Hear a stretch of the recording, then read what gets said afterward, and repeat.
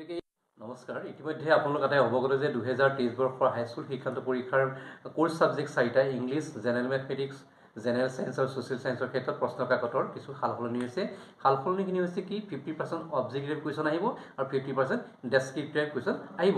এতিয়া fifty percent objective question কৰিবৰ কাৰণে চেবাই এখন স্পেচিয়েলি ডিজাইন কৰিছে এখন বহি। এইখন বহি হ'ল এইট পেজৰ বহি।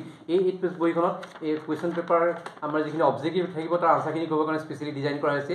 এইখন এইটো চাওক কুৱেশ্যন নম্বৰ ওৱান ওৱানত দহটা কুৱেশ্যন কৰাৰ প্ৰভিজন আছে। কুৱেশ্যন নম্বৰ টু টু দহটাৰ কাৰণে আছে। কুৱেশ্যন নম্বৰ থ্ৰী টু দহটাৰ কাৰণে আছে। কুৱেশ্যন নম্বৰ ফ'ৰ টু দহটাৰ কাৰণে আছে। আৰু কুৱেশ্যন ফাইভতো দহটাৰ কাৰণে কুৱেশ্যনৰ আনচাৰ লিখিবৰ কাৰণে প্ৰভিজনটো আছে।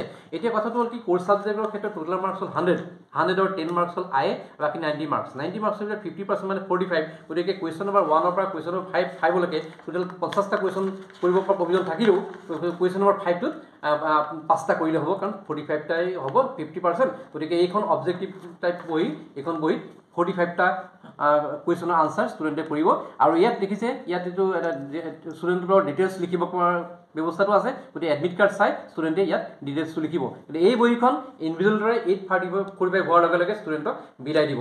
যেতিয়া নাইন ফৰ্টি ফাইভ হ'ব নাইন ফৰ্টি ফাইভ হোৱাৰ লগে লগে বেলেগ এখন বহি যিখন বহি আমি চেবাই ডিজাইন কৰিছে এইখন ডেছক্ৰিপটিভ আনচাৰ কৰিবৰ কাৰণে। এইখন হ'ল ষোল্ল পেজৰ বহি এইখনত চাওক এইখনত মেজেণ্টা কালাৰৰ কাভাৰ পেজ ইনষ্ট্ৰাকশ্যন আছে ইয়াত কিন্তু টেলি ডাটা চিটটো নাই। গতিকে এইখন বহি এইখন বহি চাওক ৰুলিং পৰা আছে ছিক্সটিন পেজৰ এইখন ইউজ হ'ব ইংলিছ জেনেৰেল ছায়েন্স আৰু ছ'চিয়েল ছায়েন্সৰ কাৰণে। আৰু বাকী এইখন ছিক্সটিন পেজৰ প্লেইন বহি থাকিব। এইফালে পিছফালে গ্ৰাফ দুখন থাকিব এইখন হ'ল মেথমেটিক্সৰ কাৰণে। গতিকে এই দুখন বহি আপোনালোকে চাওক এই প্ৰথম এইখন হ'ল ইংলিছ জেনেৰেল ছায়েন্স ছ'চিয়েল ছায়েন্সৰ কাৰণে ডেছক্ৰিপটিভৰ কাৰণে বহি ষোল্ল পেজৰ আৰু এইখন হ'ল ষোল্ল পেজৰ গ্ৰাফ থকা প্লেইন মেথমেটিক্সৰ কাৰণে। এতিয়া কথাটো হ'ল কি যেতিয়া এইট ফৰ্টি ফাইভত প্ৰথমখন দিব বহি আৰু নাইন ফৰ্টি ফাইভত ছেকেণ্ডখন বহি দিব। গতিকে নাইন ফৰ্টি ফাইভত ষ্টুডেণ্টে দুইখন বহিয়েই হাতত থাকিব। গতিকে নাইন ফৰ্টি ফাইভ হোৱাৰ লগে লগে তেওঁলোকৰ হাতত দুখন বহিয়ে থাকিব। দুইখন বহীতে ষ্টুডেণ্টে এডমিট কাৰ্ড চাই পেলাই তেওঁলোকে দুইখন বহিতে ডিটেইলছটো ভালকৈ লিখি ল'ব। আৰু এইবাৰ কেইবাটাও নতুন নতুন নিয়মেৰে মেট্ৰিক পৰীক্ষা অনুষ্ঠিত হ'ব। যিহেতু আগন্তুক মেট্ৰিক পৰীক্ষা আৰু মেট্ৰিক পৰীক্ষালৈ মাজত মাত্ৰ কেইটামান দিন কিন্তু তাৰ প্ৰাক মুহূৰ্তত এতিয়া ছেবাৰ তৰফৰ পৰা কেতবোৰ নতুন নিয়ম দাঙি ধৰা হৈছে। এইবাৰ মেট্ৰিক পৰীক্ষাৰ ক্ষেত্ৰত কিয়নো এইবাৰ মেট্ৰিক পৰীক্ষা নতুন নিয়মেৰে অনুষ্ঠিত হ'ব কেইবাটাও নিয়মৰ পৰিৱৰ্তন কৰা হৈছে কেইবাটাও বিষয়ৰ ক্ষেত্ৰত পৰিৱৰ্তন ঘটোৱা হৈছে। উল্লেখযোগ্য যে চাৰিটা বিষয়ত বৃহৎ পৰিৱৰ্তন এইবাৰৰ মেট্ৰিক পৰীক্ষাত। অংক সাধাৰণ বিজ্ঞান ইংৰাজী আৰু বিজ্ঞানত এই নতুন পৰিৱৰ্তিত নিয়ম প্ৰযোজ্য হ'ব।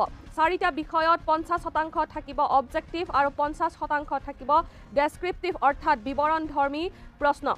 গণিত ইংৰাজী সাধাৰণ বিজ্ঞান সমাজ বিজ্ঞানত থাকিব দুখনকৈ উত্তৰ বহি। ইয়াৰে এখনত অবজেক্টিভমূলক প্ৰশ্ন উত্তৰ কৰাৰ লগতে এখনত কৰিব লাগিব ডেছক্ৰিপটিভমূলক প্ৰশ্নৰ উত্তৰ। আৰু অবজেক্টিভমূলক প্ৰশ্নৰ উত্তৰৰ বাবে থাকিব আঠ পৃষ্ঠাৰ সুকীয়া বহি।